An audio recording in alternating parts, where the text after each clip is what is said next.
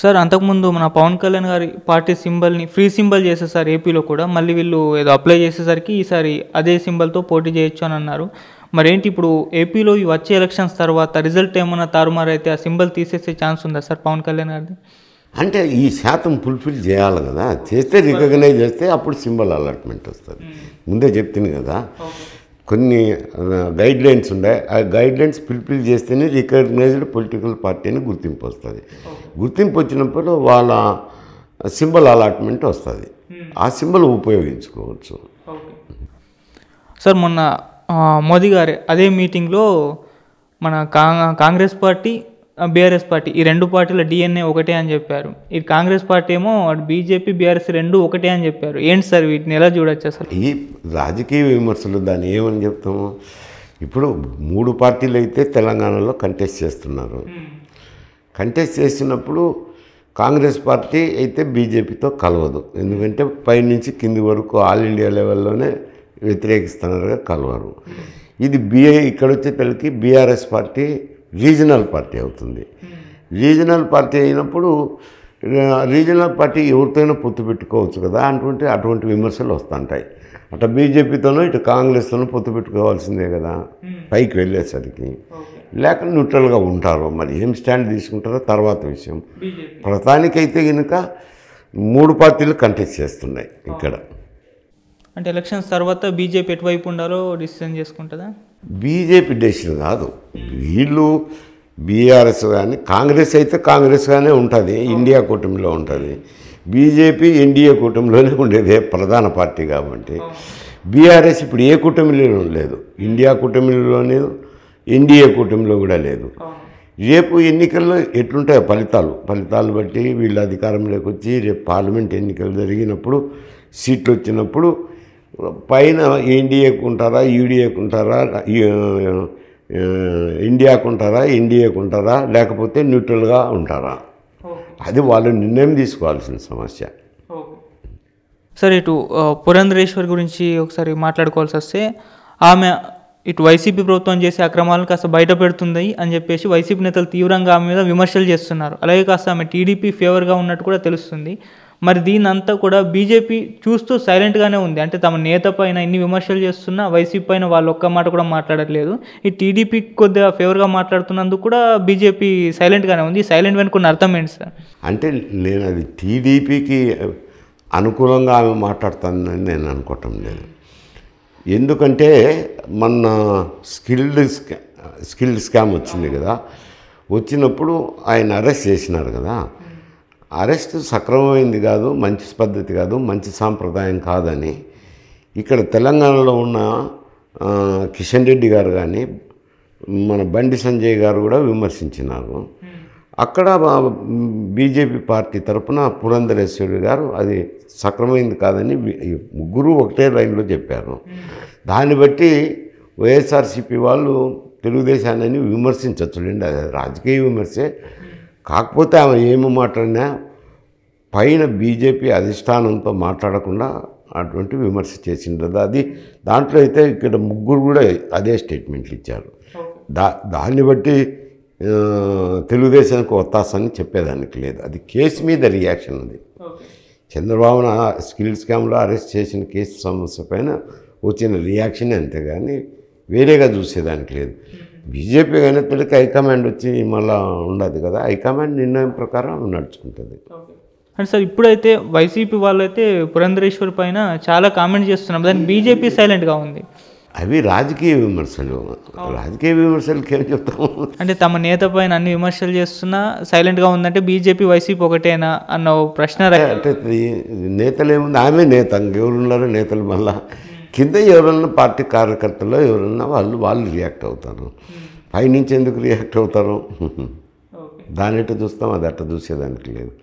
ఇప్పుడు ఆమె స్కిల్ స్కామ్లో అరెస్ట్ చేయడం సక్రమమైంది కాదు అని ఈ- ఇక్కడ కిషన్ రెడ్డి గారు ఏం చెప్పారో బండి సంజయ్ గారు ఏం చెప్పారో ఆ లైన్లోనే చెప్పారు. ఆమె కూడా అదే లైన్లో చెప్పారు. అంటే బీజేపీ హైకమాండ్ నుంచి సమ్మ సమ్మతించిన స్టే తర్వాతనే ఆ స్టేట్మెంట్లు వచ్చింటాయి. ఇక్కడైనా అక్కడైనా. వచ్చినప్పుడు అది కొంచెం వైసీపీకి వ్యతిరేకంగా కనపడుతుంది కదా. కనపడినప్పుడు ఇటువంటి విమర్శలు చేస్తుంటారు. విమర్శలు చేసినప్పుడు స్థానికంగా ఉండే నాయకులు ఆమె రియాక్ట్ అవుతుంటుంది. ఓకే. సార్ మళ్ళీ మన చంద్రబాబు నాయుడు గారి హైకోర్టులో బెయిల్ మళ్ళీ పోస్ట్పోన్ అయింది. అంటే దాదాపు ఈరోజు వచ్చేస్తుంది బెయిల్ రెగ్యులర్ బెయిల్ అని అనుకున్నారు. కాకపోతే మళ్ళీ పోస్ట్పోన్ అవడంతో చాలామంది నిరాశ నిరాశపడిపోయారు. మళ్ళీ ట్వంటీ ఎయిట్ వరకు అన్నా రెగ్యులర్ బెయిల్ వస్తుందా? లేకుంటే ట్వంటీ ఎయిట్ దాటి వెళ్ళిపోతుందా అని చెప్పేసి డౌట్ మొదలైంది. సో మీ ఒపీనియన్ సార్ ట్వంటీ ఎయిత్ వాయిదా వేసుకుండొచ్చులే అప్పుడు జరగచ్చు ఏముంది? దానికి ఏముంది? కేసుల్లో తరును బట్టి జరుగుతుంటుంది. ఇప్పటికైతే ఆయనకు నెలాఖరు వరకు ట్వంటీ ఎయిత్ వరకు బెయిల్ ఉంది. ఈ నాలుగు కేసుల్లోనూ కూడా అదే అప్లై అవుతుంది. కాబట్టి అరెస్ట్ చేయరు. చేయమని కూడా న్యాయస్థానంకు చెప్పినారు. తర్వాత ఇది ఈ స్కిల్డ్ స్కామ్ది క్వాష్ పిటిషన్ ఒకటి సుప్రీంకోర్టులో పెండింగ్ ఉంది. అది రేపు ఎప్పుడో వాయిదా ఉంది. అప్పుడు జడ్జిమెంట్ రావచ్చు ఇరవై తేదీ లోపల అది జడ్జిమెంట్. అక్కడ క్వాష్ పిటిషన్ కొట్టేస్తే నాలుగు కేసుల్లోనూ కూడా అదే అప్లై అవుతుంది. ఒక రెండు కేసులు ఉన్నాయి మళ్ళీ. అదనంగా ఏది ఇసుకదైతేనేమి లిక్కర్ది అయితేనేమి రెండు కేసులు ఉన్నాయి అవి యాంటిసిపేటరీ బెయిల్ వేసుకున్నారు అది హైకోర్టులో పెండింగ్ ఉంది. దాంట్లో అరెస్ట్ చేయము మేము ఇప్పుడే అని చెప్పి వాళ్ళ అడ్వకేట్ జనరల్ కూడా హామీ ఇచ్చారు కదా ఆంధ్రప్రదేశ్ హైకోర్టుకు. సార్ అలాగే మన ఇటు జగన్ గారు ఇటు సీఎం కేసీఆర్ గారిని గెలిపించడానికి ప్రయత్నాలు చేస్తున్నారు అని చెప్పేసి కొన్ని వార్తలు వస్తున్నాయి. మరి ఆయన ఎందుకు సీఎం జగ కేసీఆర్ గారిని గెలిపించడానికి ప్రయత్నాలు చేస్తారు సార్? అంటే గత ఎన్నికల్లో ఆంధ్రప్రదేశ్లో జరిగిన ఎన్నికల్లో వైఎస్ జగన్కు అంటే వైఎస్ఆర్సిపికి ఈ బీఆర్ఎస్ అంటే అప్పుడు టీఆర్ఎస్ ఉన్నది. చంద్రశేఖర్ గారు ఆర్థికంగా కానీ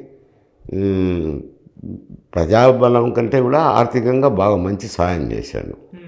ఎన్నికల్లో ఆయనకు. చేసిన తర్వాత అదైతే ఆయన వెనక్కి ఇచ్చేసినాడు అనుకోండి. ఇప్పుడు ఏదైనా కృతజ్ఞత ఉంటుంది కదా ఇక్కడ బీఆర్ఎస్కు ఇప్పుడు బీఆర్ఎస్ అయింది. ఆయన చేయాలనే అభిప్రాయం ఉంటుంది కదా. అప్పుడు ఆయనకు మద్దతు ప్రకటించినప్పుడు ఆర్థికంగా కానీ రాజకీయంగా కానీ వైఎస్ జగన్కు వైఎస్ఆర్సీపీకి టీఆర్ఎస్ ప్రభుత్వం కానీ చంద్రశేఖరరావు గారు కానీ సహాయం చేసినప్పుడు రివర్స్ ఉంటుంది కదా తప్పకుండా మద్దతు తెలిపేదానికి ప్రయత్నం చేస్తారు. ఎట్లా వస్తాయా రావా అనేది వేరు సమస్య. నైతిక మద్దతు ఇతర రకాల మద్దతు ప్రకటించవచ్చు మరి అప్పుడు ఎందుకు సార్ కేసీఆర్ గారు అటు జగన్ గారికి సపోర్ట్ చేశారు? దానికి ఏమైనా రీజన్ అంటే అప్పుడు కేసీఆర్కు కొంచెం చంద్రబాబు నాయుడు మీద కోపంతో జగన్కు సపోర్ట్ చేసింది. అది వాస్తవం అందరికీ తెలుసు కదా. ఆర్థికంగా సాయం చేశాడు రాజకీయంగా ఆయనకు తోచించాడు సాయం చేశాడు. కాబట్టి ఆయన చేసినారు కాబట్టి ఇప్పుడు ఇక్కడ కూడా ఆయన బీఆర్ఎస్కు సాయం చేయొచ్చు. ఓకే. మళ్ళీ ఇప్పుడు తెలంగాణ అసెంబ్లీ ఎలక్షన్స్ తర్వాత ఏపీ రాబోతుంది. మళ్ళీ సీఎం కేసీఆర్ గారు ఇక్కడ ఒకవేళ గెలిస్తే ఆ తర్వాత జగన్ గారికి మళ్ళీ సపోర్ట్ చేసే ఛాన్స్ ఉంది. ఉండొచ్చు అది అప్పుడు అది తర్వాత విషయం ఇప్పుడు ఇక్కడ ఈయన గెలవాలా? గెలిచి అధికారానికి రావాలా? వచ్చిన తర్వాత కదా మాటలు. ఇప్పుడు ఎందుకంటే బీఆర్ఎస్కు కాంగ్రెస్కు స్టిప్ ఫైట్ నడుస్తుంది కదా. నువ్వానేనా అనేటట్లు జరుగుతుంది. అది తేలాలి కదా. అది తేలిన తర్వాత ప్రభుత్వం వచ్చినాక దీనికి సమాధానం దొరుకుతుంది. సార్ అంటే ఇప్పుడు జగన్ గారు ఇటు కేసీఆర్ గారికి సపోర్ట్ చేయడం అనేది మిగతా పార్టీలు ఏ విధంగా చూస్తాయి? బీ ముఖ్యంగా బీజేపీ ఎందుకంటే కేంద్రంలో అదే ఉంది కాబట్టి ఈ విధంగా సపోర్ట్ చేస్తున్నాడు ఏదో స్థానికంగా చెప్పుకుంటారులేండి లోపల వచ్చినప్పుడు. నాకు రాజకీయంగా ఏదో అప్పుడు సాయం చేసినారు కాబట్టి నేను చేయాల్సింది వస్తుంది చేస్తానని చెప్- చెప్పుకుంటారులేండి అయ్యేముంది? ఏ బీజేపీకి ఆయన అనుబంధ సంస్థ కాదు కదా. ఓకే. సార్ మరి ఈసారి కేసీఆర్ గారికి మన బీఆర్ఎస్ పార్టీకి కాంగ్రెస్ పార్టీకి మధ్య గట్టి పోటీ అని అంటున్నారు. అంటే మిగతా పార్టీలను పక్కన పెడితే. మరి బీజేపీ అండ్ జనసేన పొత్తుతో వస్తున్నాయి కదా ఇవి వీటి మధ్య దూరే ఛాన్స్ ఉంది? ఆ పోటీ ఇవ్వగలుగుతాయా? లేకుంటే అది నామమాత్రపు ఎలక్షన్స్ అయ్యే పోటీ అని అనుకోవచ్చా సార్? ఎట్లా రియాక్ట్ అవుతారో? ఇప్పుడు ఒకప్పుడైతే బీజేపీ బాగానే వచ్చింది. బీ బీఆర్ఎస్తో పోటీకి బీజేపీని అనేది పరిస్థితి ఏర్పడి ఉన్నది. వివిధ కారణాల వల్ల బీజేపీ పుంజుకోలేకపోయింది. కాంగ్రెస్ పార్టీ పుంజుకొని ఇప్పుడు బీఆర్ఎస్కు కాంగ్రెస్కే ప్రధాన పోటీ అయింది. రావచ్చు కొన్ని సీట్లు రావచ్చు. మరి రేపు పొద్దున ఎందుకంటే కొంచెం ఎడ్జి ఉందని కాంగ్రెస్కి ఉందని అందరూ అంటున్నారు. ఎక్కడైనా మాట్లాడినప్పుడు ఏదైనా కలిసినప్పుడు ఎట్లుంటుంది అని అంటే కొంచెం కాంగ్రెస్కి ఎడ్జి ఉంది అని అంటున్నారు. రేపు ఏదో సర్వేలు వచ్చినప్పుడు ఎలక్షన్ గురించి ఖచ్చితంగా తెలుస్తుంది. అంటే దాదాపు కొన్ని సర్వేలు ఏం చెప్తున్నాయంటే మేబీ బీఆర్ఎస్ పార్టీకి తక్కువ సీట్లు రావచ్చు కానీ సీట్లు కొద్దిగా తక్కువచ్చు కానీ అదే పార్టీ అంటే ఇప్పుడు చేసే సంస్థలు ఎవరు చేస్తున్నారో తెలియబోయి ఇప్పుడైతే వాళ్ళు ప్రకటించేదానికి లేదు. అది ఎన్నికల నోటిఫికేషన్ రాకముందు ప్రకటించిన ఫలితాలు సర్వే ఫలితాలు. ఎన్నికలు ప్రకటించిన తర్వాత సర్వేలు ప్రకటించేదానికి లేదు ఎన్నికల కమిషన్ నిబంధనల ప్రకారం అవి తర్వాత ఎన్నిక అయిపోయిన తర్వాత ప్రకటించుతారు. చూడు అవి కొంచెం మనం అర్థం చేసుకోవచ్చు దాంట్లో. అయితే ఇప్పుడు కనపడేది అయితే ఎక్కడన్నా మాట్లాడినప్పుడు ప్రజలతో ఇట్ ఈజ్ కాంగ్రెస్కు బీఆర్ఎస్కే ప్ర పోటీ ఉంది అనేది. కొంచెం కాంగ్రెస్కే ఎడ్జ్ అనేది అంటారు. రేపొద్దు రేపు పొద్దున ఏమవుతుందో చూద్దాం ఏపీలో సార్ అటు ఏపీలో ఇప్పుడు ఏముంది? ఆ రెండు ఒకటైనారు. వాళ్ళైతే అనౌన్స్ చేసినారు. ఏది? జనసేన అయితేనేమి తెలుగుదేశం తరపున బాలకృష్ణ ఉన్నారు లోకేష్ ఉన్నారు. ఈయన జనసేన తరపున పవన్ కళ్యాణ్. మేము. కలిసే పోటీ చేస్తాము వచ్చే ఎన్నికల్లో అని చెప్పినారు. కలిసి పోటీ చేస్తే కొంచెం వైఎస్ఆర్సీపీకి ఇబ్బందికర పరిస్థితులే ఉంటాయి. బీజేపీ కలిసే ఛాన్స్ లేదా అక్కడ బీజేపీ ప్రశ్న లేదు. ఎందుకంటే బీజేపీ అంత పెద్దగా లేదు.